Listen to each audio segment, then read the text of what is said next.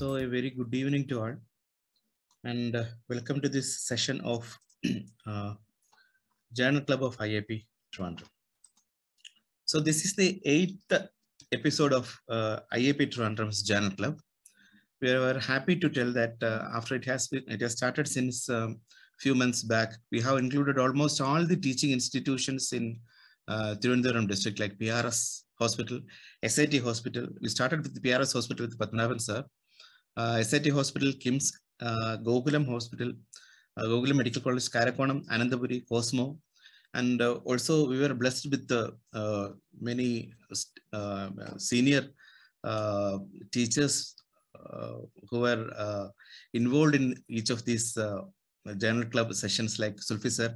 And today we have Kunju sir with us. And uh, the idea of the IAP uh, journal club we were uh, trying to uh, brush up the and update uh, brush up and update the knowledge academic knowledge of um, practicing pediatricians pgs faculties and all other uh, pediatricians regarding the recent advances in pediatrics. Uh, we were updating these things and we were including national and international indexed journals, uh, recent articles, uh, recent advances for PGs. That also was dealt with, was one of the intention of uh, this uh, journal club. One paper is there, so they could also prepare well. We are trying to uh, keep the quality and we are regularly doing it every month.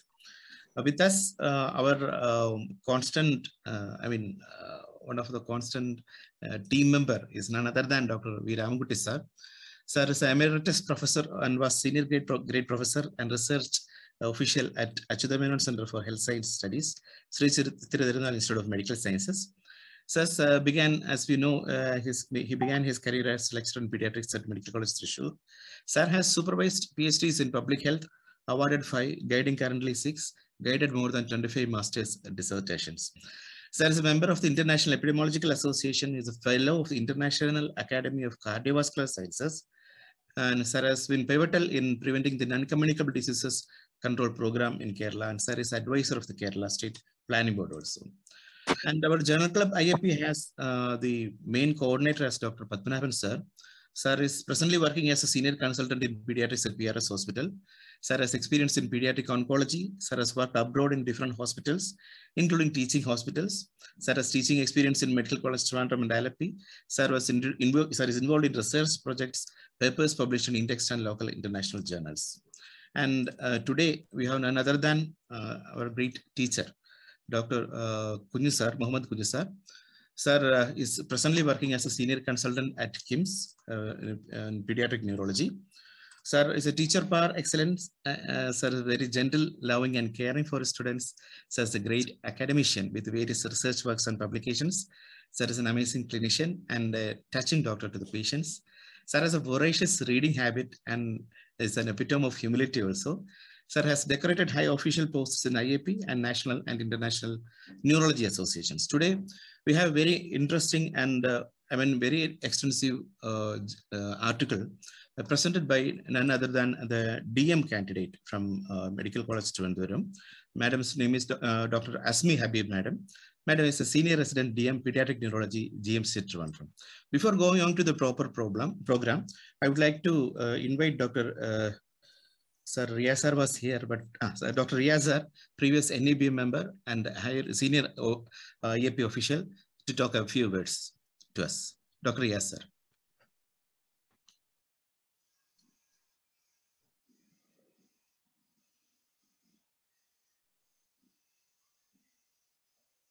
I think Riyazar is uh, probably communicating with me, madam. Um, ah, Dr. Padmanabhan sir has joined, and I would like to request Dr. Padmanabhan sir to share a few thoughts before we go into the uh, program. Uh, normally it's a pediatric topic and I come in as a expert. Today I'd rather keep my mouth shut. Therefore I'll pass the baton to the next person. This is not my cup of tea anyway. So before we open the uh, topic proper, I would request Dr. Kunju sir to um, share a few words on the program, the article and uh, everything related. Kunju sir, please sir. My uh, senior uh, friends, Dr. Ramankutty, Dr. Padmanabhan, uh, my colleagues and students, Riaz, uh, Anju, who, and all, the, all others. Uh, today, I'm happy to be a part of this journal club of Indian Academy of Pediatrics Trivandrum branch. Uh, even though Padmanabhan uh, was telling that uh, the, the topic is not this uh, cup of co- uh, coffee, but I think uh, definitely at the end, you all will see how he will come out with a lot of ideas and criticism about the about the paper. Because what I think, what I have perceived about the presentation is that we are trying to iron out the problems uh, as well as uh, the mode of uh, operations as well as the mode of uh, conduct of the study rather than the content of the uh, uh, paper. So Yes. that way, I think uh, definitely uh, Dr. Padmanabhan and others will be able to contribute. And uh, I shall uh, definitely uh, try to contribute towards the content if uh, needed. Yeah, I think uh, we can uh, start the program. Uh, before that, I request Dr. Ramankutty to uh, say a few words uh, about the uh, journal as well as uh, the, the intent of this presentation. Thank you. I, I do, I mean, I think I'll reserve my comments to after the presentation. Briefly, this is a clinical trial with three groups, uh, and that is the interesting part. Uh, and there are, there is also a time element because they are repeatedly measuring something and then comparing. So from the methodology point of view, it uh, offers uh, certain challenges, which I think I'll discuss after the paper has been presented. Thank you, sir. Over to Dr. Thank- Aspis, madam. Kindly, yes, ma'am. Thank you.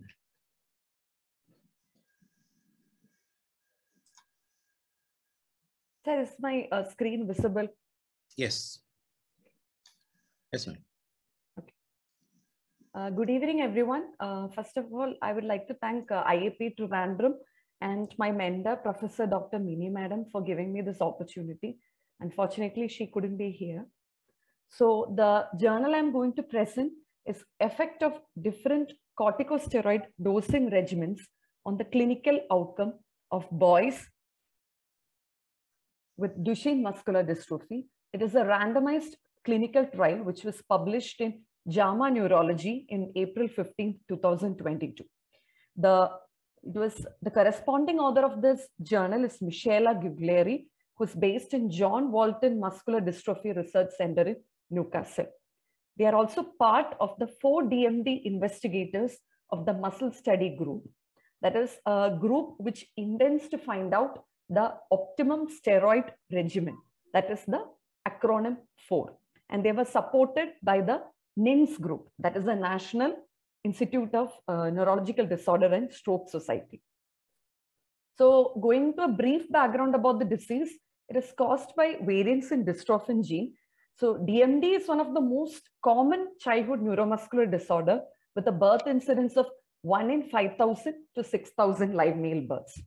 So corticosteroids, both prednisone and deflazacort, have now been approved for DMD. That they are already being approved because of the various mechanisms of action.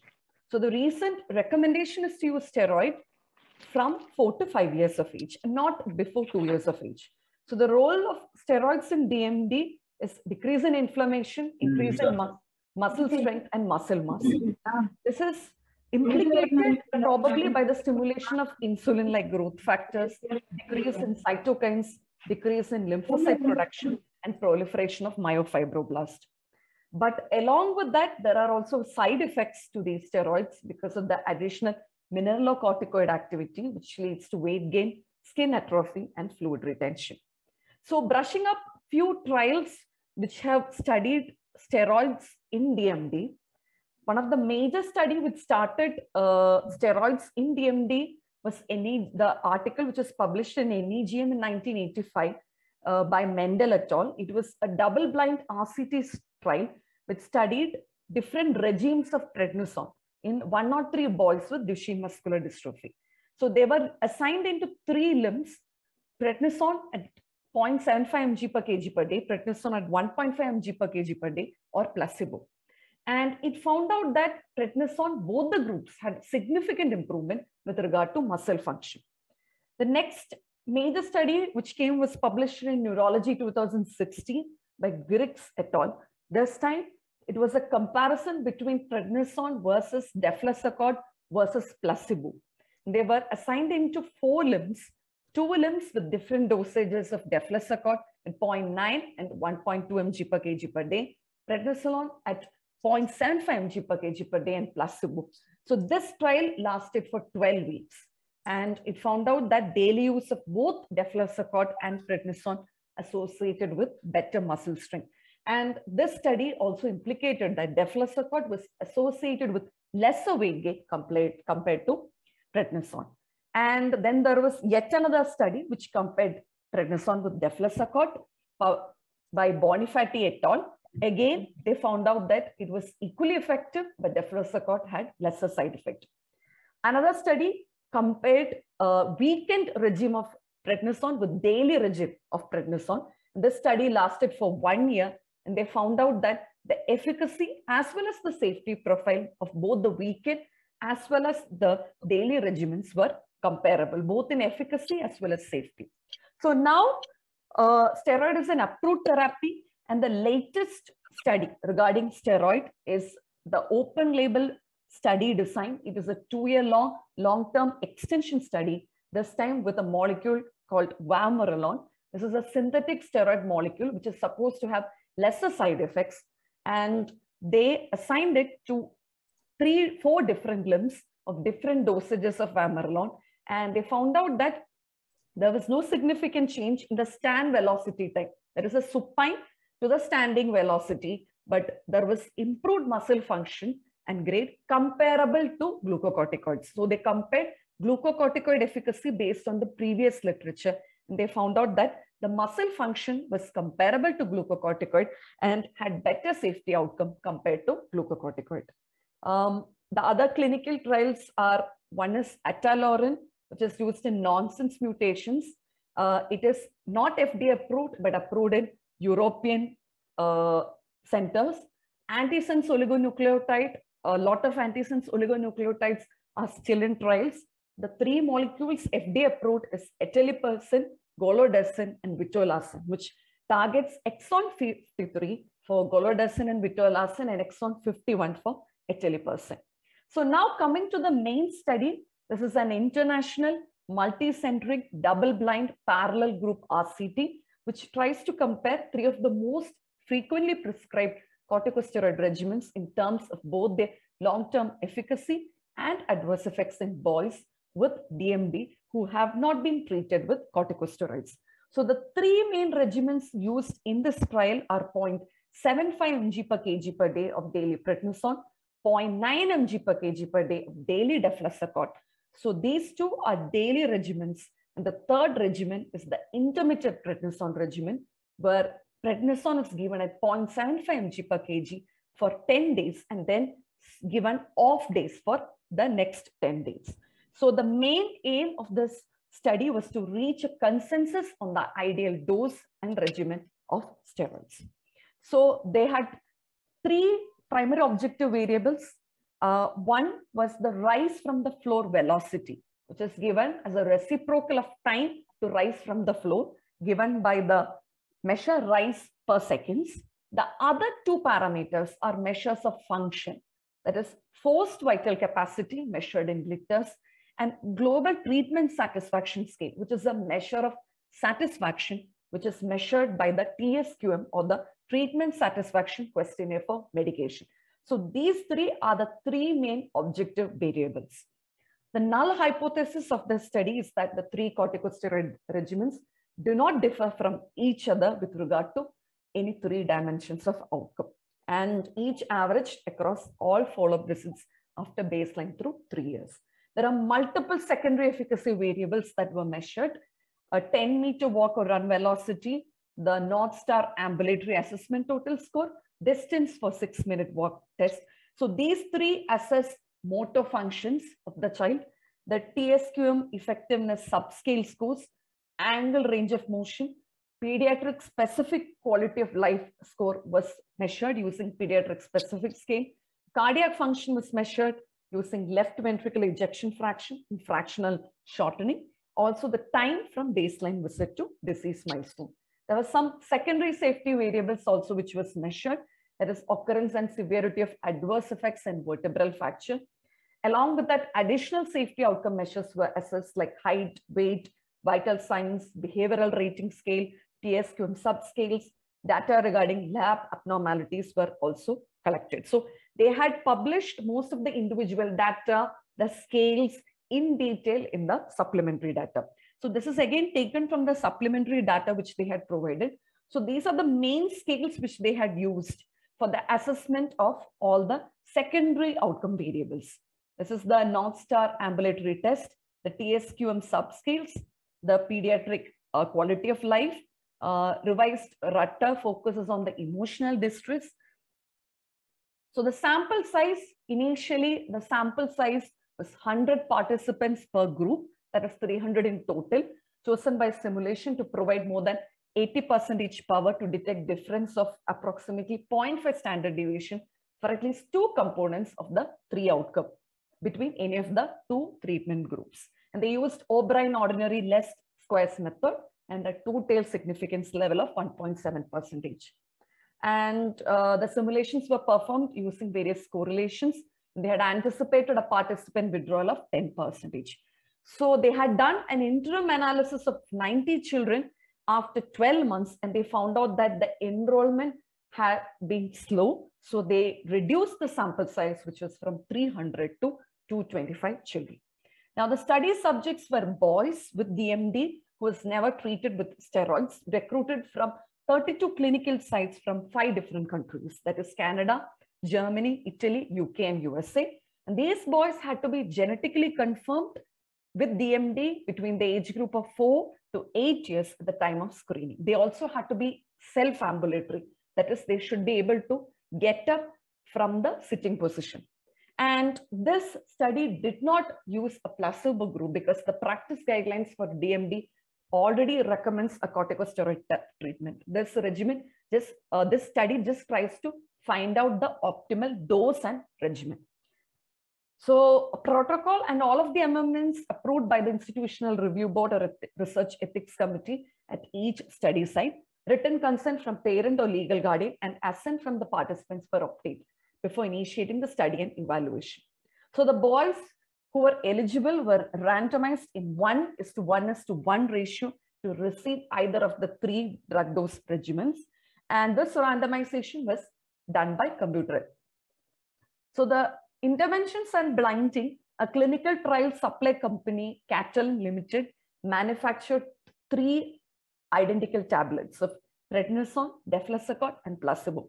So the placebo tablets were used in the intermittent prednisone regime uh, for the off days to maintain blinding during the off days. So these tablets were provided in a 20-day treatment wallet and the number of tablets ranged between two to six. And that depended upon the weight band dosage, which I'll be showing in the next slide.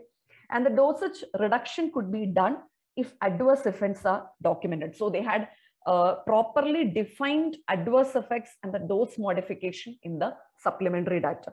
So if they encounter any adverse effects, they could reduce the dose. So this was the weight band. And as we can see, the number of tablets ranged from 2 to 6. Uh, 5 mg of prednisone is equivalent to 6 mg of deflazacort. And this was the dosage according to the weight band. Coming to evaluation and follow-up, all the boys were followed up for minimum of three years while taking the study medications. This was the uh, initial uh, study plan. And the initial screening has to be done within the first three months. Then the follow-up was done at three months, the next follow-up at six months, and thereafter every six months till the end of evaluation. So they had done proper adverse events reporting also, uh, which was recorded at each clinical assessment, either by the prompting of the parents, the legal guardians, or both. And they had properly graded the severity of the adverse effects, ranging from mild or grade 1, which does not require any medical intervention, to grade 5, that is fatal. So they had properly provided uh, guidelines. So there are certain um, adverse effects like Cushingoid features or glycosuria for which there are proper consensus guidelines. So such cases, consensus guidelines for DMD was followed. If there was a corticosteroid associated adverse effect, however, if they encounter side effects for areas which lack clear recommendation, expert opinion was sought and consensus was reached among the investigators. So two-tail p-values were used for the comparison of two head-to-head -head evaluation. And the two-tail, the significance level was kept at 017 and analysis was performed using the SAS software version 9.4. Now, during the delay in recruitment, the enrollment had to be further halted at 196. So the initial target was 290, 300, which came down to 290, 225. And ultimately the randomization, the boys num number was just 196. So the initial plan was 65 randomized to daily prednisone, 65 to daily deflazacort, and 66 to intermittent prednisone. So this is the uh, chart which they have provided. So initially 229 boys were assessed for eligibility and proper informed consent was signed by parent or legal guardian, out of which 33 had to be excluded due to multiple reasons like refusal to participate, unable to rise independently from floor, which is one of the exclusion criteria, unable to maintain proper reproducible forced vital capacity, and when they did not get a proper genetic diagnosis of Duchenne muscular dystrophy. So this brought down the number to 196. So this was 65, 65 in the daily deflazacort group and 66 in the intermittent prednisone group. Again, there was a withdrawal. There were six children who were withdrawn. So this brought down the number to 62 in the primary analysis of daily prednisone, 63 in the daily deflazacort group, and 65 in the intermittent prednisone group. Uh, but not all the children could complete the three-year time period. That is, 54 completed the um, three-year follow-up period in the daily prednisone, 54 in the daily deflazacort, and 56 in the intermittent prednisone. There was also some few withdrawals, which um, they have not mentioned exactly at one point these withdrawals came. So this was the outline. Uh, 196 patient was randomized, out of which 190 patients were ultimately analyzed.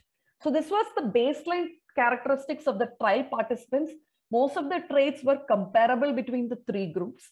The mean age was 5.8.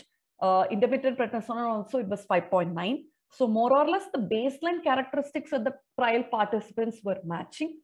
Uh, there was some uh, differences in the race predilection because daily prednisone group had 91 percentage of children who were whites. Daily deflazacort had 89 percentage who were white children and intermittent prednisone had 74 percentage of children who were whites. So other than that, they were able to fairly match almost all the baseline traits. So coming to the primary outcome, as I've already mentioned, these three were the three primary outcome variables. The rise from the floor velocity, forced vital capacity, and the TSQ global satisfaction scale. So they had a head-to-head -head comparison between the two groups, out of which there was a significant difference noted for the rise to rise from floor velocity. Uh, not between the daily prednisone and daily deflazacort group, they could not find any significant difference. But between daily prednisone versus the intermittent prednisone, they found out that the performance of daily prednisone was significantly better compared to the intermittent prednisone group. And also the significant difference in the rise from the floor velocity, that is better performance was noted in the daily deflazacort compared to intermittent prednisone. So the daily regimens comparing significantly better with respect to rise from floor velocity when compared to the intermittent prednisone group. In the other two parameters, there was no significant difference noted when there was a head-to-head -head comparison between the two groups. So this is the whisker box plot, which they have um, plotted. So the blue indicates daily prednisone, the light orange is the daily deflazacort and the light gray is the intermittent prednisone. So we can see that the daily prednisone and the daily deflazacort, this is the time scale along the x-axis and this is the rise from the floor velocity, rise per second uh, along the y-axis. So we can see that the lines of daily prednisone and daily deflazacort are definitely up. So this is the 25th, as we all know, this is the whisker ball. Uh, this is the 25th, 50th, and 75th um, quartile, and this is the range, and this is the outliers. And in this chart, we can see that the intermittent prednisone definitely lagging below the other two groups, and this was a significant difference. Coming to the other primary outcome variables, as I've already mentioned, we can say that the three lines are more or less overlapping with each other.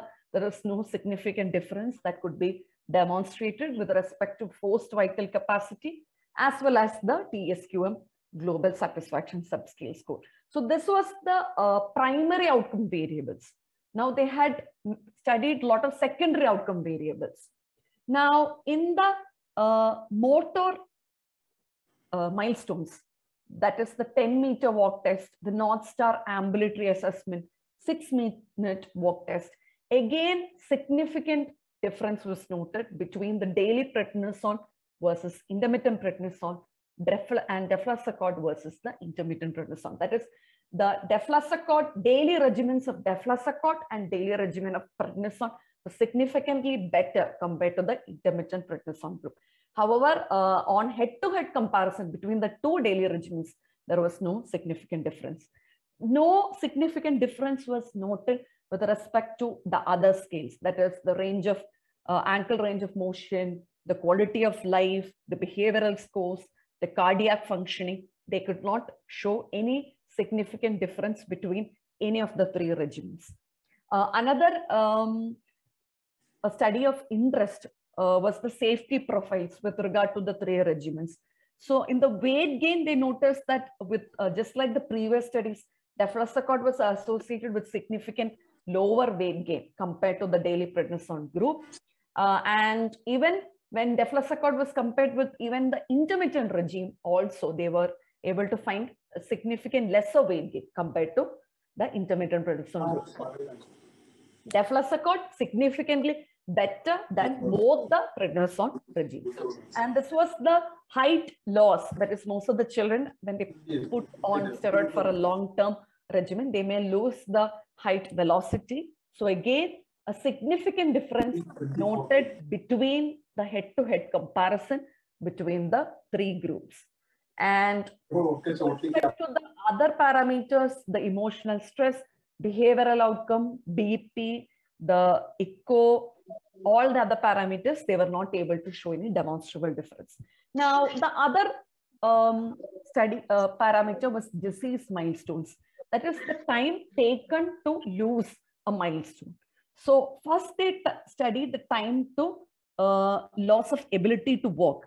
So in the loss of time to loss of ability to walk in the study, um, total 15 participants lost the ability to walk and 20 children lost the ability to rise from the floor. So we had started children who were self-ambulant and we had 15 participants along the course of study who lost the ability to walk and 28 children who lost the ability to rise from floor.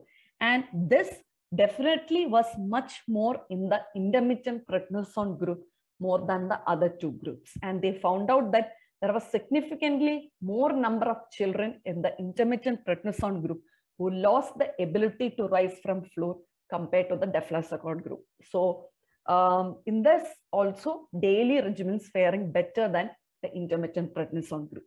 Uh, they have also listed a complete list of the adverse profile. So the three main adverse, this is in the terms of incidence, the most common incidence was abnormal behavior, upper respiratory tract infection and vomiting and they had graded into mild and more than mild based upon the adverse effects scoring system, which I've already put up. And there was 45 serious adverse effects noted, out of which 10 events in the daily prednisone, 20 in the daily deflazacort, and 15 in the intermittent prednisone group. They found out that out of all these 45 serious adverse effects, they could directly attribute it, they have attributed only three of the serious adverse effects to corticosteroids. That is, um, one they have attributed is the uh, two cases of intervertebral disc compression seen in the daily prednisone group. Another was a mildly increased urine calcium to creatinine ratio. So three of the serious adverse effects which they have attributed to corticosteroids are from the daily prednisone group. And coming to the most common side effects, it was noted was abnormal behavior, which was uh, seen in 22. So 38 percentage of the children from deflazacort group, 34 percentage in the daily prednisone, and 36 percentage in the intermittent prednisone. No significant differences noted. Uh, URTI was the next uh, common side effect noted, um, and vomiting was the third most common side effect which was noted. So to summarize all the results, in the primary objective analysis, we found out that there was a significant difference noted in the time to rise velocity when intermittent prednisone was compared to both daily prednisone and daily deflazacort group. That is, it was faring less compared to both the daily regimens. But no significant differences was noted between the daily regimens with respect to other primary objective um, variables, that is the forced vital capacity and the TSQM global satisfaction scale, no significant differences noted. In the secondary objective analysis, among the motor scores, which is the 10 minute walk test, the six uh, meter walk test, and the North Star ambulatory assessment, there was again better significant improvement noted in the daily regimens compared to the intermittent regimen. And in the head-to-head -head comparison between the daily regimen, no significant differences noted. None of the other, in the other secondary variables, which is the pulmonary, cardiac effects, behavioral scores, they could not find any significant difference. Among the adverse effects, weight gain was significantly less the deflazacort group, just like the previous studies compared to both daily and intermittent prednisone group. And there was no significant differences noted with respect to weight gain between the two prednisone regimes. And slowing of growth was also the least with uh, intermittent prednisone group. That is the height velocity was less affected with intermittent prednisone and daily deflazacort surprisingly was associated with the greatest slowing of group. And BMI was also significantly greater in the daily prednisone versus the intermittent prednisone group. Um, and when we look into the loss of ability of milestones, there was a significantly higher number of children in the intermittent prednisone group versus the daily deflazacort group who lost the ability to rise from flow. So the conclusion which they have come up is that uh, DMD patients treated with daily prednisone and the daily deflazacort compared with the intermittent prednisone uh, over a period of three years demonstrated significant improvement with respect to the motor function, but no significant difference noted in the two daily corticosteroid regime. And also with respect to other uh, parameters of DMD, they could not demonstrate any significant difference with the three regimens.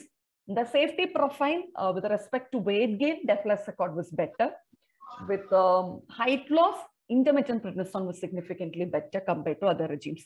So this study actually supports the use of a daily corticosteroid regimen over the intermittent regimen. So what are some of the advantages and disadvantages of the study? So main advantage is they tried to study the benefit of different steroid regimens in terms of efficacy and side effects. And for that, they had used very well-defined scoring and scales, which they put up in the supplementary data. So they had very clearly defined outcomes. Their adverse effects were well put up. They had showed how to proceed if adverse effects were uh, encountered. And they almost were able to assess all the relevant uh, systemic details with regard to DMD, that is motor function, pulmonary function, cardiac satisfaction, behavioral skills, quality of life skills.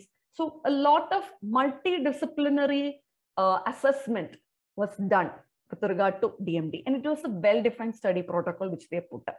The disadvantages, they could not meet up the sample size, which had to be reduced. And another major disadvantage is this was supposed to be a double uh, blind study, but they had temporarily switched to open label. A few participants in few centers were actually given daily prednisone regime. So it was not throughout a um, blind, double blind study. And they had said that uh, certain long-term side effects of steroids, especially with regard to the bone density, can't be studied over even a three-year time period. So a long-term study side effects could not be studied. And also they included only the most frequently used steroid regimens uh, that is the three most commonly used steroid regimens. They could have probably used more. So now for the critical appraisal of the skills program, I have used the uh, CASP RCT checklist, which is based in Oxford. And I tried to answer the 11 questions based upon the critical appraisal. So did the study address a clearly focused research question? Yes, the study had put up a very clearly focused research question. They had well-defined population, that was boys who had a properly genetically confirmed case of DMD, four to eight years of age, not previously on steroids, who were able to independently rise from the floor. They had put up three different regimens of steroids. The outcome was properly defined in terms of motor milestones, various scales, and the safety profile of the three regimens. Now, the randomization was done by computer, which was, and the allocation sequences were concealed from the participants. Uh, the losses were accounted for and the participants were analyzed in study groups properly. Uh, the study could not unfortunately meet the original, the actual calculated sample size was 300, which was brought down to 225. And further, the number of students, children analyzed was 196.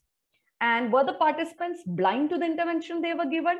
They were supposed to be blind. It was a double blind study. But unfortunately, 74 of 196 children were switched temporarily to open label daily prednisone due to drug supply issue. This is one of the, probably one of the major flaws of the study. And were the study groups similar at the start of the RCT? Most of the baseline traits of uh, all the three study groups were similar, except maybe for the racial uh, uh, trait. That is, for the daily prednisone group, there were more white children compared to other two regimens. So they could have probably tried to balance out the uh, racial uh, traits of the children as well. Now, was there a clearly defined study protocol? Yes. Uh, if any additional interventions were given, were they similar between the study groups? So this they have actually given in the study protocol, that is children who had certain adverse effects. That is children uh, who had a low bone density. Some of them were given bisphosphonates. Children who had gone for cardiac failure, they were given ACE inhibitors and uh, beta blockers, which they have already mentioned in the study protocol. Um, and were the follow-up intervals same for each study group? Yes, the follow-up intervals were same for study group, but not all the children were actually followed up for a period of three years. Some, there were definitely dropouts. Uh, the power calculation was undertaken. Outcomes were properly defined using scales. The results for each outcome, including the individual safety, uh, the secondary outcomes were also reported. Um, the data was accounted for. It was done using a two-tail p-test and the p-values were reported. Uh, the confidence intervals were also reported for the check. Now, were harms or unintended effects reported for each study group? There was adverse effects which was reported. They had done a proper grading of the adverse effects and they had a properly defined algorithm how to go about each adverse effect. Um, so that was uh, definitely documented. Cost effect analysis, they have not mentioned. Now, will the study results help us locally? Are the study participants similar to people in your care? Yes, this study will definitely help us for treating children in our department who come with DMD and the outcomes are definitely important to our population. And uh, so that will help us to give more output regarding the treatment of the various steroid regimens that should be employed in such children. And they were had reported most of the relevant outcomes uh, different involving different systems, but not much is still known about the long-term side effects of the steroids. And are there any limitations of the study that would affect your decision? Yes, because of the um, blinding, which was not done properly, probably that is one of the limitation of the study. Uh, regarding resources, uh, we need a proper technical as well as human resources for the proper blinding, for the allocation, for the proper follow-up. We need to employ different tools. There are multiple uh, scales which have been employed for the study of this, uh, for the study. Uh, they need proper following up. There should be a proper um, algorithm for the treatment of the side effects. So all that accounts for a lot of human and technical constraints and resources. So thank you. So this is the Indian um, group which manages, which is involved in the Duchenne muscular dystrophy. Thank you everyone for listening. Thank you, um, Madam, for that excellent presentation. Now, I would request Dr. Um, sir to share his thoughts and give his comments as far as this article is concerned. Over to Ramankutty sir. Okay. Uh, can you hear me? Yes, Yes, sir. Yes, sir. Okay, uh, first of all, I think it was an excellent presentation and excellent analysis. Uh, so congratulations. Thank you, sir. Uh, so she made very things very clear. Uh, and uh, as to the paper, I think this is a very interesting paper, uh, very useful in the sense for a clinician because it addresses a very immediate question of what is the best regime, especially comparing between daily and intermittent regimes. Uh, Sorry to interfere, sir. Azmi Yeah. Madam, can you stop uh, sc- sh- screen sharing? Oh, sorry, sir. It's okay. Thank you. Sir, requesting please to continue, sir. Yeah, so they are comparing uh, day, uh, two daily regimes with uh, intermittent uh, therapy, uh, and uh, they have done it uh, in the proper way. So the challenge in this, I will, uh, I will not talk about uh, the, you know, the neurological aspects. Of course, Dr. Muhammed Kunju is here. I am only talking about the design and the study. Uh, first of all, the first question you want to ask is, was it warranted? Because did we really have an answer? Of course, I, I mean, we can't criticize too much because it has been cleared by the ethics committee. So obviously they have taken that into consideration. But um, I was a bit worried that, you know, some of the uh, children in the, one of the groups uh, was doing badly. Uh, was it really necessary to, you know, we already had the answer that daily regime is useful. Uh, so maybe, so that's a judgmental issue. Some people, maybe there is a, there is a uh, reason why it was done. So I will leave that. Coming to the statistical and uh, design part, see there are three challenges here. One is uh, there is what is known as the treatment effect, uh, which means you know how do the the three interventions compare in terms of. So whenever you have more than two interventions, uh, we cannot uh, use the direct comparison because suppose you have A, B, and C. Uh, of course, uh, very naively, we might think that A can be compared with B, B with C, and C with A. Uh, but the problem is uh, what, what we call in statistics multiple comparisons, which means that if you compare things in the same data over and over again, some of them will turn out to be statistically significant just because of chance. So unless you statistically adjust for that, uh, you cannot uh, make a. So that is one challenge. So I think they have properly done the comparisons. But the second challenge is that there is also a time element because they are measuring over two-year period, three months apart or something like that. So which means you know the outcomes may go up and down, or maybe it is progressing or deteriorating, whatever. So how does that compare? So there is what is known as the period effect. So the period effect and the treatment effect, the two effects uh, may also interact. That is known as uh, statistical interaction. In epidemiology, we also call it uh, effect modification, which means that suppose one treatment is superior to another, A is superior to B. Now, does the superiority increase over time or does it decrease over time or does it remain the same over time? So these things are also important. Uh, whenever we say that you know, A is comparable to B, we are assuming that uh, the period effect is constant in both. So if it is not constant, uh, you have to test for the inter interaction effect and uh, uh, report that. So uh, I assume that it has been done. So I didn't see that actually in my reading of the paper. So that is one point that I want to flag.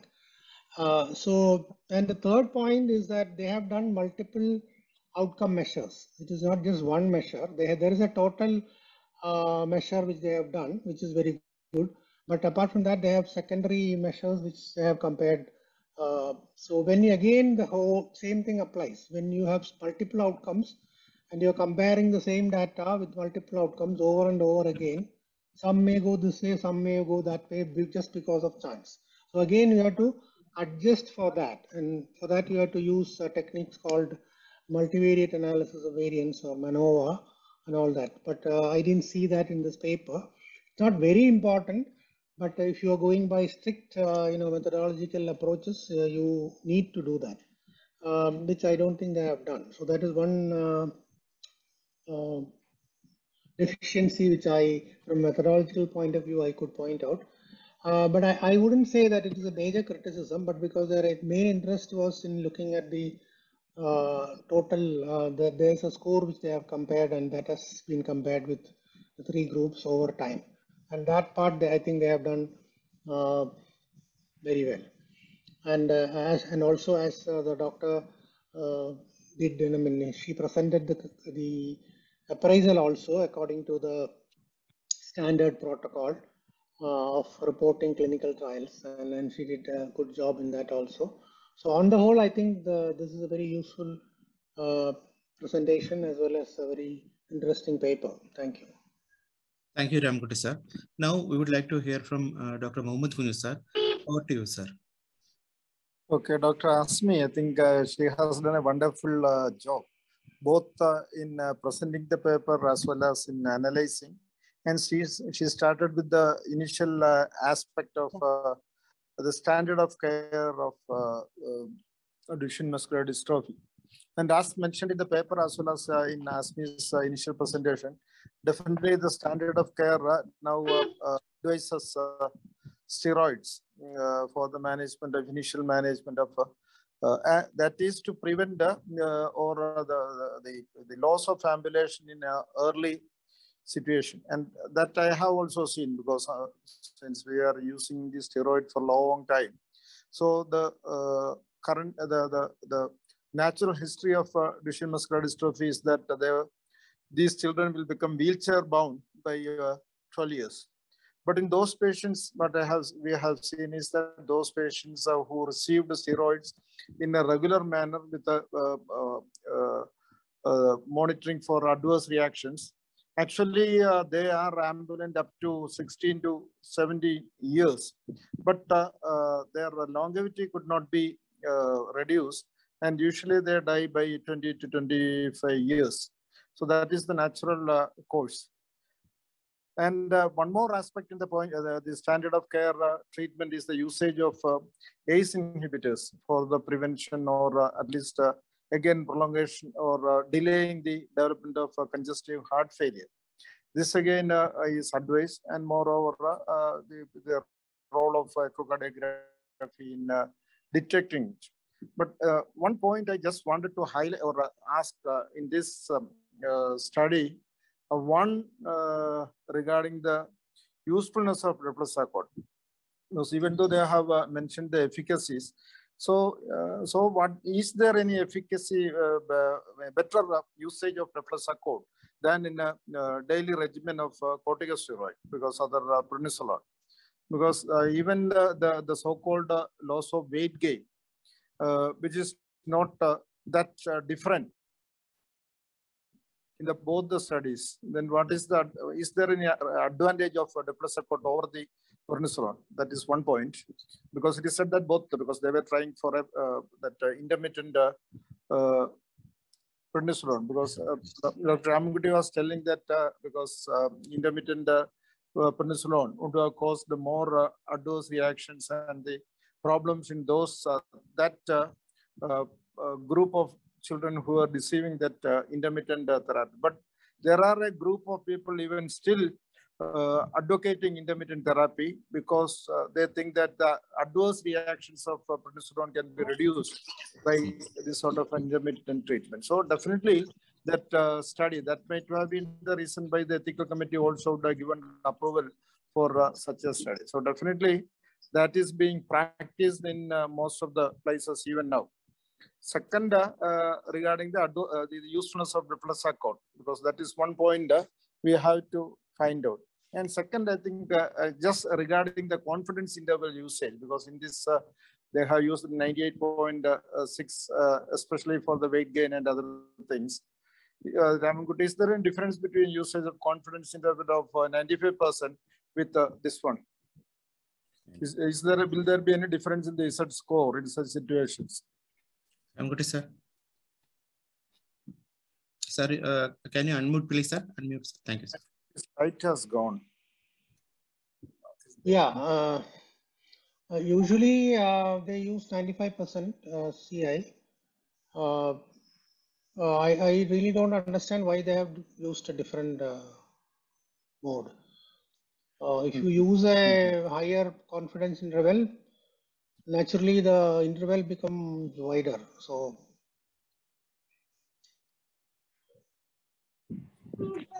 They'll get a better uh, uh, uh, significance in the, by that or uh, difference. yeah, yeah. But when you have limited numbers, you know, sometimes uh, you are allowed to do that kind of thing. So it is not uh, strictly Mhm. wrong. Mhm. Okay, thank Okay, you. regarding the this of uh, usefulness of Deflazacort versus a daily prednisolone, daily ca- can be infer some data from that, uh, any better uh, effect or uh, both are same? Then what is the use of use? Uh, what is the use of using Deflazacort in such patients? Rather, uh, shall we go to prednisolone Uh, by Dr. this study? That, Dr. Azmi, madam, madam can also contribute. can you can you answer that question? Ask me. Sir, deflazacort versus uh, daily prednisone. Daily Ah. deflazacort versus daily prednisone. Sir, uh, efficacy actually none of the, uh, the not even not the present study and the previous studies have not been able to find out any difference. The difference is always in terms of safety. Adverse reaction. It is the Yes, adverse sir, reaction. It is always in the adverse. re- But in this study also, they haven't found uh, much difference in the adverse rea- study reactions But they- also. But Yes, sir, I think, sir, the number the- is at 20 more with the deflazacort, sir. Uh, I all mean, the all the all the children had behavior problems. All the children had uh, weight gain, almost equal, isn't it? Um, There is no, no statistically significant difference was there. Sir, Azmi weight madam gain- was showing, yeah, Azmi madam was showing There- one number, na? 20. If you want to show there- this slide, you can share. sir, Allah, they were giving percentage, not any clinically. Uh, there is no statistical significant difference between the adverse reactions. They haven't even shown that result even.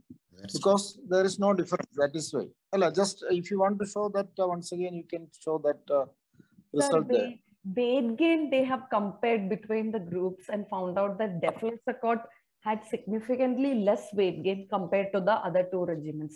But No, no, just just show just show One that uh, report. Can we share the, Have they found any statistically uh, significant difference in the weight gain? Madam has shown that actually, madam's point was there. Um, If possible, madam can uh, share the screen again, madam. sir, with the- this is the one in the secondary safety variables. No, no, just to compare. just show that uh, slide of weight gain. I Sir, saw may- the percentage. one. I think just Ella, I think this uh, slide uh, you haven't uh, shared. Share the slide. We are not seeing. Okay, one second, sir. Mm. So one minute. Sir, I think this is the one which they have put up for the secondary safety variable. Uh, They have found out some significant difference between deflazacort and daily prednisone and deflazacort and intermittent prednisone. see uh, the p-value. Uh, okay, so there is a difference. Uh, But sir, one more thing they're saying was the height loss that is gain go to the another slide where that, that percentage, you know, the three adverse reactions they are showing, you have shown in another uh, slide where the percentage was, ah, this one, Yes, sir. you see? Uh, there the, uh, so weight gain is not included in that uh, slide. No, sir, this is the the three main uh, side effects which was noted, adverse effects. Okay, okay, that is almost equal. That isn't is it? almost equal, sir. Weight gain they've Ah. noticed more for the prednisone regime, but height loss they have noticed for deflazacort. Ah, that is again, uh, height loss was there for. uh, Height loss was there. That was most for deflazacort and least for uh, intermittent prednisone, sir. Hmm, hmm. One more slide. Actually, was that there. is one advantage. there. Uh, One Sir, advantage uh, of yes, uh, buffer loan over uh, deflus, uh, this tier uh, prednisone is the uh, the the maintenance of the height height. Yes, sir. That is one advantage there. Advantage. Mm. But in this slide, sir, they're telling that 20 events in 10 participants in the daily deflazacort group, whereas in daily progesterone group, it was uh, only 10 events in seven participants, sir. Sir, uh, this is the serious adverse effects. Adverse effects only. sir. Adverse effects itself, they had uh, Uh, again classified into mild, moderate. mild, moderate. So this is just a list of the serious adverse effects, which they have split into uh, the three groups. sir. Three groups, right? And they found out that uh, probably three of the serious adverse, adverse effects were attributable to, to the use of steroids. And those three were actually found in the daily prednisone group. Okay. Uh, Okay. Could- Kunju sir, could it could it be an inference that deflazacort is safer than uh, that is? I think that was what sir was meaning, no, sir? Defla- Deflazacort. Actually, it is a perceived uh, thing only because that uh, serious adverse reactions are really uh, the Deflazacort also has almost 20 events were there, isn't it? Yes, sir. Compared sir. to 10 events. so if we take uh, that into consideration also, there's only much, there is a mild, mild difference, that's all. The weight gain, if you give uh, cons- uh, the dietary advice, etc. is given in a proper manner, I Sir. think that can be managed. But anyway, we go for newer drugs, we go for, uh, uh, uh, but the cost is so different. That is the difference between Yes, the deflazacort and uh, prednisolone, you know. A single tablet will, especially six, six milligram tablets itself will cost around uh, 10, 12 rupees. And uh, 40 milligram tablet of uh, uh, will uh, uh, cost only, I think, uh, three or four rupees. That Yes, is the sir. big. Hmm. So that much uh, cost difference will be there. Uh, Uh, anyway, other uh, comments about others? Yes, madam. Yes, madam. Can you uh, stop sharing, uh, Dr. Aslan, madam? Yes, sir. We have Dr. Kalpana madam also with us. Uh, Dr. Kalpana madam, can you share your thoughts with us, madam? Good evening. Kalpana madam, can we? I request Dr. Kalpana madam also to share madam's thoughts. Madam. If, uh, Anju, you can call her. Uh, Ah, yeah, sure, sir. Sure, uh, sir. Sorry. Can uh, Okay. his comments by. Meanwhile, uh, I think uh, our uh, district president and uh, next year's president-elect, Dr. Rugmini madam is also with us. Uh, Rugmini madam, can you share your Uh, Uh, Thank you, thoughts, madam? uh, Dr. Anju.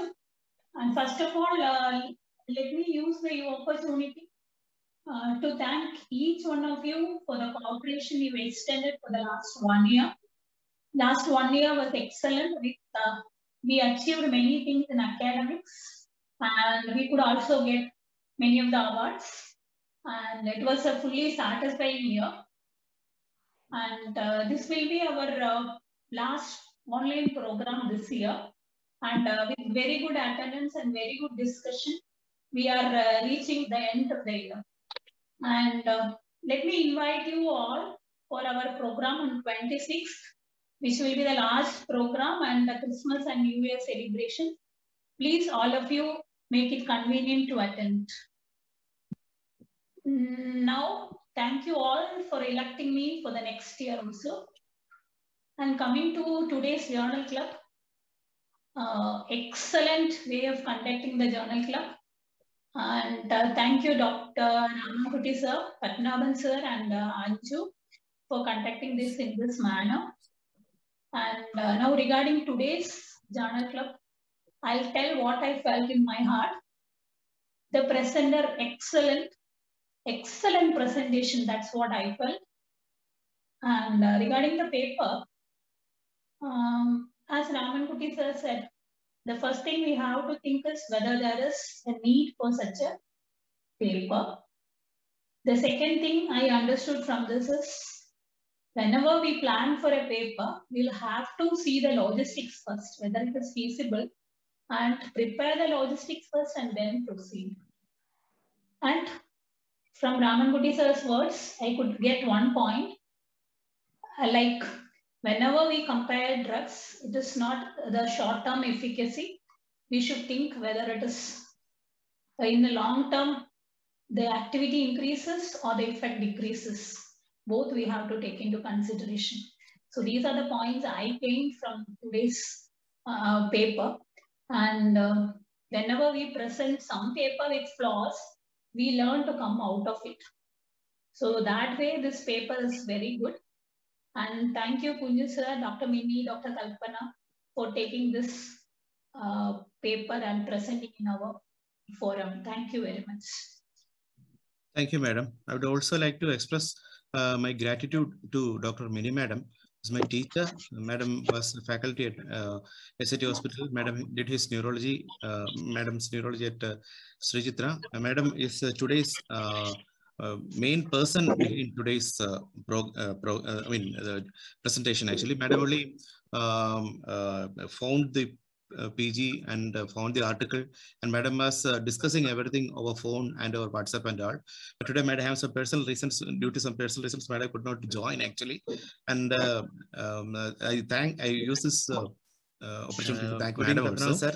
Uh, thank you for joining. Um, sir, we would like to hear from you, um, the coordinator of uh, Journal Club IAP Tirunelveli. Over to Padmanabhan sir. Okay. when I meant uh, this is not my cup of tea. This is uh, Duchenne's muscular dystrophy is one of the most uh, distressing uh, conditions to find out. And uh, I had families in the Gulf. I don't know why they seem to repeat more than here. One, two, three children, and uh, you do the CPK and comes in thousands, and you have to break the bad news to them. Well, when I referred patients to the pediatric neurologist there, I did not know the steroids was being given till about a few years back. And today, this journal club gave me a total picture of the thing. I hope in some, when we are giving for three years, even if you give for longer time, will it not, uh, I just wonder whether it will not prevent the patient becoming wheelchair bound by 16 years or 17 years, or does it lose its effect? How long have we been giving this? That's what I would like to ask Muhammed. How long have you been giving this to the patients? Well, actually, uh, from for, uh, for for a single for a single patient or for how many years I am giving? Yeah, how many years? I mean, many. I mean, when you started giving this. Well, actually, we have started way back in 90s itself. Uh, I must remember uh, giving it when I was staying in uh, my another other uh, uh, uh, uh, house. That uh, must be in uh, 95, 96 time onwards. Okay. We are giving. Hmm. Okay. okay. And they do become uh, wheelchair bound by 16 years, is it? As I told you, ah, yes, yes, yes. Many for those who are uh, continuing like that, definitely. And everybody has felt that difference because that is only that is one advantage because we can keep them.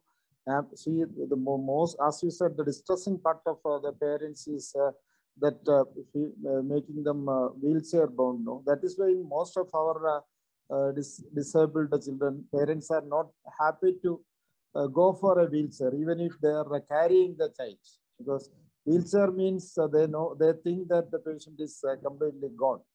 So and uh, to keep them out of uh, wheelchair by at least some medications, definitely it will be a big boost. That way, this is working uh, very good. That is why it has come as a part of the standard of uh, care in the management of. Uh, Any uh, gene therapy been effective? Have you tried anybody? Because there are a lot of reports of gene therapy. So recently also there are uh, the one uh, recruitment is uh, going on uh, uh, for uh, even though you must know that it is not at all not yet uh, approved by uh, US FDA, but it is uh, being uh, approved in uh, Europe and other uh, countries. And uh, recently, uh, two of my patients were uh, included in the study. Means just recruited. Uh, yeah. See, all these gene therapies, the problem is that uh, again, it just prolongs the agony, not uh, it doesn't uh, improve, uh, cure the pro- the process. We are just trying to convert the Duchenne muscular dystrophy into Becker muscular dystrophy. That's all. But, but sir, the power of the muscles will improve, no, sir? That is what I. Ah, definitely, definitely, definitely. Power will that will improve, but definitely- It won't uh, you- cure it. But that will improve the uh, quality of life, no, sir? A little at, at least. We have to see. I think the long term outcome, etc. Uh, uh, not not that uh, not that uh, what do you call, not that promising, but still, Yeah, sir. See, that is the way by which that, uh, that you, you can go for treatment, you know. Okay. Thank you, sir. Padmanabhan sir, uh, can I, uh, I would like to ask uh, uh, one question, sir, to Padmanabhan sir. Yes. Padmanabhan sir, sir, uh, we were discussing about deflazacort or prednisolone, and- uh, I mean, uh, clinicians are uh, using deflazacort as well as prednisolone for uh, conditions like asthma. And, uh, sir, uh, could you find that in uh, deflazacort? Uh, can you uh, comment on that? Like, uh, do you find less adverse effects with the deflazacort? Uh, more effectiveness with the prednisolone uh, in the, I mean, taking Mhm. acute severe asthma or uh, uh, such a condition as a See, actually, I'm not using too much in asthma, therefore I cannot comment on that. sir. Uh, you mean long-term deflazacort? A short time only, sir. Short-term, no side effects we have seen either with prednisolone or deflazacort, nothing. Sir. Okay, but, uh, see, we give three to 10 days and we stop it. See, one thing Yes. is if you go to Western world, I've been in UK for some time and you will find that patients coming to asthma clinic, many of them are on daily or alternate day steroids for asthma. But the asthma is much less severe in our place and hardly anybody is on steroids. There may be steroid inhalation, Yes, sir. but not on oral steroids. Therefore, I Yes. have not found any side effect due to that. Yes, sir. Thank you, sir. Uh, Azmi, madam, uh, can I ask a doubt, madam, actually? Yes, sir. Uh, because, uh, uh, madam, in which type of parents, I mean, which parents will you, I mean, should we advise this um, uh, genetic counseling as far as this, uh, DMD is concerned? Like, uh, All parents. really? Sir, especially if there is a uh, sibling, we definitely have to give proper counseling with I mean, uh, parents, siblings, parents, siblings. are not- there is a previously affected sibling, sir. We have to Definitely, definitely, that definitely. counseling. But what about, uh, I mean, um, uh, I mean, if there is no family history at all, I mean, uh, I mean, uh, we can, uh, there is not, uh, I mean, urgency of, is that what it is needed, madam? Sir, I think de novo mutation has still been reported, sir, but I don't know whether for uh, routine such cases counseling is given. I think usually No. only if there is positive family history and Yes, madam. Yes. Antenatal diagnosis possible?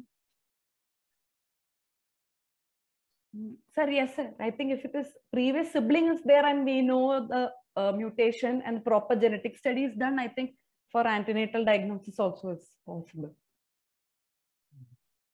Ask me, uh, in all cases, uh, the counseling is required because uh, uh, Okay. when it is a single, uh, the first child itself, especially when the first child is having a muscular dystrophy, even if there is no family history, you know, because nowadays you know that the family will be a small family. So if, uh, when you ask a family history, the the mother uh, may, may not be having a brother, even if uh, the brother, uh, if there is a brother for the mother, again the, the brother may not be having a uh, uh, or a, a sister.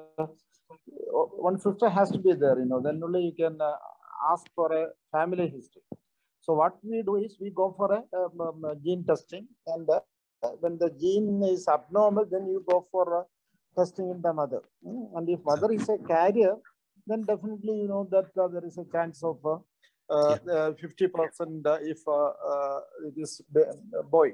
If it is a girl, you know that uh, the chance of 50% uh, carrier state. So that definitely, so uh, um, uh, uh, counseling is required and uh, you have to decide on uh, having a next child by uh, doing the genetic testing. And if a mother is not a carrier, it is well and good uh, that uh, they can uh, easily go for a next child. But Yeah. definitely in, uh, during pregnancy also they have to go for a testing. So genetic counseling, the question is, uh, Anju's question was simple, uh, whether to give a genetic counseling or not. That means genetic test. In this case, always you have to do a genetic testing in child.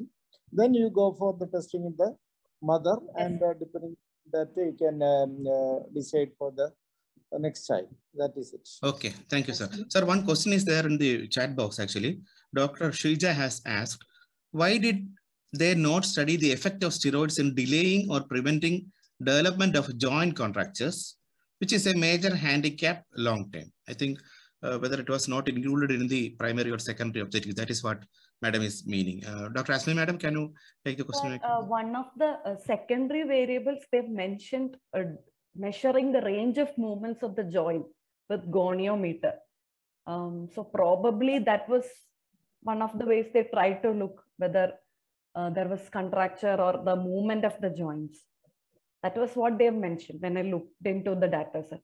So probably that was one way they had assessed Okay. Using the, the range. problem- see, the thing is that uh, these contractures, uh, especially the two things, uh, two types of contractures they can have. One is the earliest one uh, that happens is the iliotibial contracture. And second is the TA uh, tendo-Achilles contracture. Then uh, they will go for a hamstring contractures. But all these things uh, will happen once they become, they are uh, uh, in a stage of a wheelchair boundness, you know, when the mobility is not there. So these things will uh, happen. Uh, here, the study period they have included was between three to seven years. So by the time I think uh, there may not be much uh, uh, contractures. That is one. That may be one reason they were not uh, mentioning about uh, that in the results also. Muhammed, finally, one question. Suppose you do, you find the mother is a carrier, genetic abnormality. Is there any place in India where we can do amniocentesis and find out whether the fetus is see, it is being done everywhere. In uh, even in Trivandrum also, we, we are, we are doing number of uh, cases. Even our uh, Henry is doing. You must be knowing Dr. Henry. He is Okay. doing all the centers. Uh. Even years back, uh, we were doing for all these uh, cases, and uh, you do it, uh, we can uh, send. There is no need. We, we, we won't wait for amniocentesis in the first uh, the first uh, trimester. That means at the end of the first trimester itself, you can go for a chorionic villus sampling. That is being done by our uh, uh, trained gynecologists. They will do, and then uh, it is it will be sent uh, for the genetic. Already you, you know the mutation. You know they will test the mutation. Will get the report, and depending upon the uh, results, uh, parents can take decisions. Occasionally, some parents may even after the positive. That means a positive report comes. Some parents, at least uh, in uh, I, I know two two parents who refuse to do MTP even after the antenatal diagnosis. Otherwise, uh, people go for most of the time the uh, next pregnancy will be normal in many of the situations. Or occasionally only we get a positive uh, report, and uh, most of the people uh, opt for uh, MTP. But rarely, rarely, as, as I had told two times, um, parents have opted not to do MTP. Now it is available definitely. So all of at least all of uh, everybody must know that antenatal diagnosis is possible, and uh, they all the patients with the most say SMA, DMD, all these cases uh, definitely must be offered. Uh, even uh, tuberous sclerosis, or the, all these conditions, we can offer a uh, antenatal diagnosis, and definitely we can help them having a normal child. Thank you, uh, sir, for your time and uh, valuable uh, I mean, teachings. Before we wind up, I would uh, like to uh, request Dr. Riyaz, sir, to uh, tell a few. Yes, you are requesting fourth or fifth time. He's not coming. I think uh, sir is uh, called I Mini think Madam and, um, because I informed sir about Mini Madam and uh, phone is constantly, uh, I mean, engaged, maybe uh, trying to reach Madam also. Can we close then? Ah, sir, can, could you, sir, can we wind up the session, sir? Yeah, yeah. Okay. Okay. Okay. Thank you. So Thank you. I would like to thank. Uh, yes, Hello. Okay. I would like to thank Kunju sir for his time സാറിന് വളരെ late ആയിട്ട് അറിയിച്ചത് sir വിളിച്ചപ്പോൾ അഹമ്മദാബാദിലായിരുന്നു sir വന്നതിന് ശേഷം ചേരാന്ന് പറഞ്ഞു Uh, വളരെ so I express my sincere gratitude Uh, from myself as from uh, IAP Trivandrum. And sir is also uh, part and parcel and a senior person and official of uh, IAP. So, and the Padmanabhan sir, Dr. Mini Madam, Dr. Riyas sir, Ramankutty sir, and all the also have joined. I uh, thank uh, from my heart as well as in, I mean from IAP Trivandrum and I wish all a very great time ahead and uh, till we meet again thank you so much thank you sir thank you bye Thank you, thank you. I think we must thank uh, Ramankutty for uh, his uh, time and energy being spent for uh, this, uh, this program. Yes, definitely, definitely, sir. A great thing. okay, okay. Thank you. Good night. Thank you. Take care, sir. Thank you, night, sir. sir. Thank you, everyone. Ask me Thank you, must be you asking? congratulated Sorry. for Left out, uh, Azmi. so Thank you so much, Namaste. Asif, for that. Thank you, sir. Thank you for I the think opportunity. uh, uh, Mini, Mini also must be congratulated uh, for Yes. uh, mentoring for uh, this in such a uh, an excellent Right. manner. Okay, very good. And Anju madam. Kanmani for, for the last Okay, one year for holding this meeting. Uh, Thank you so much, sir. Aswini madam, thank you for that excellent presentation teaching. Thank you, sir. Thank you, Yes, sir. sir. Thank you so much. Okay, thank you, sir. Good night, Apna, sir. Yes, sir. Okay.